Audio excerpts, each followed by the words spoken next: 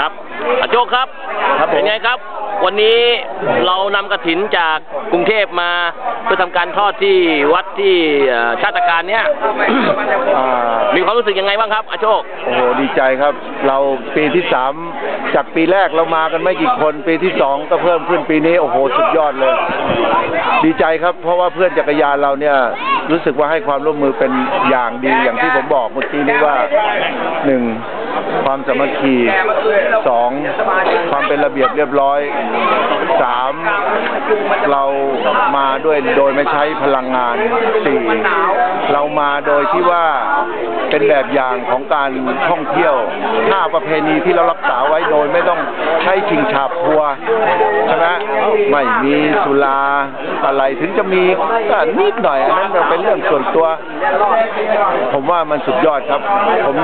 ก็เดินไปคุยกับทุกคนนะนะว่ารู้สึกเป็นยังไงมาครั้งแรกไหมอะไรไหมเขาก็บอกว่าครั้งแรกดีน่าจะมีต่ออะไรต่อ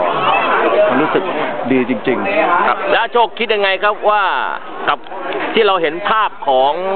สมาชิกผู้ใช้จักรยานน่ะจากทุก ๆ กลุ่ม ทุก ๆ ชมรมรวมถึงสมาคม แล้วก็ชาวจังหวัดต่างๆ ตามรายทางที่เรามาเนี่ยมาสมทบกลุ่มมาสมทบกันเนี่ยทำกิจกรรมครั้งเนี้ยอาโชคมีความรู้สึกยังไงเกี่ยวกับเรื่องความอ่าสามัคคีของพวกเราครับ ผมว่าทุกคนเข้ากันได้หมดนะครับเพราะว่าถือคนขี่จักรยานปุ๊บผมว่ามันจะมีอ่าอะไรอะลักษณะแบบความความที่เป็นนักจักรยานเนี่ยเหมือนเหมือนกันมีอะไรดูแลช่วยเหลือกัน กับคนไหนมีปัญหาก็แนะนำกันอะไรกัน ถึงแม้จะบางคนอาจจะไหวไม่ไหวก็ให้กำลังใจกันอย่างน้อยก็อ่าถึงไม่ไหวนอกจากไม่ไหวจริงๆอะอ่าเราก็มีรถให้อะไรให้ ผมว่ากลุ่มแต่ละกลุ่มเนี่ย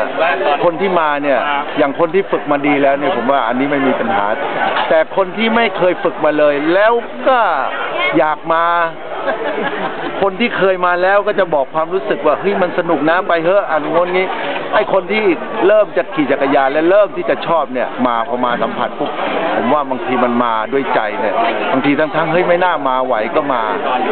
อันนี้มันผมว่ามันสุดยอดจริง ๆ มันมีความรู้สึกว่าทุกคนให้ความร่วมมือแล้วแม้แต่จะชมรมต่างๆ แม้แต่บางคนอาจจะอย่างงนอย่างนี้มันก็มีบ้าง แต่ผมว่าส่วนใหญ่ ส่วนใหญ่ 80-90%ผมว่าดีครับดีมากๆเลย ครับแล้วเอ่อทุนที่เราจะทำทำการก่อสร้างศาลาอเนกประสงค์หลังเนี้ย เราคิดว่าเรายังต้องทำต่อเนื่องกันไปอีก ในปีต่อๆไปเนี่ยอาโชคคิดว่าจะมีเพื่อนสมาชิกมาร่วมกิจกรรม ในลักษณะอย่างเงี้ยกระถินอย่างเงี้ยมากขึ้นไหมครับ ผมผมก็ว่าน่าจะมากอะนะครับไอ้เรื่องมากเนี่ยผมว่าไม่น่ามีปัญหา แต่ตอนนี้ไอ้เรื่องการดูแลการบริหารจัดการเนี่ยมันค่อนข้างจะ ลำบากแต่ในตัวผู้ขี่จักรยานนะผมว่าไม่เท่าไหร่ตอนนี้มันอาจจะเป็นเรื่องของอันตรายกับการขับขี่หรือการควบคุม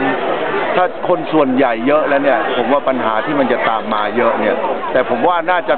คุยกันแล้วหาความเห็นแต่ละคนเนี่ยว่าใครมีไอเดียยังไงอะไรยังไงบ้างปัญหาตรงนี้เราจะแก้ยังไงไอ้ทำอะไรอย่างเงี้ยฮะครับผมว่าตรงนี้มันมันมันเป็นเรื่องสำคัญครับก็ ขอบพระคุณอาโชคนะครับ ครับที่เป็นเอ่อผู้นำพาบุญมาส่งให้พวกเราได้มาสมทบบุญกันในครั้งนี้ ครับผม แล้วหวังว่าปีต่อๆไปพวกเราก็คงจะได้ทำบุญร่วมๆกัน เพื่อทำการสร้างศาลาอเนกประสงค์หลังเนี้ยให้เสร็จรุ่ล่วงนะครับ รายงานจากวัดเจริญราชศรัทธา จังหวัดพิษณุโลกอำเภอชาติการ สมาคมจักรยานเพื่อสุขภาพไทยทากิครับ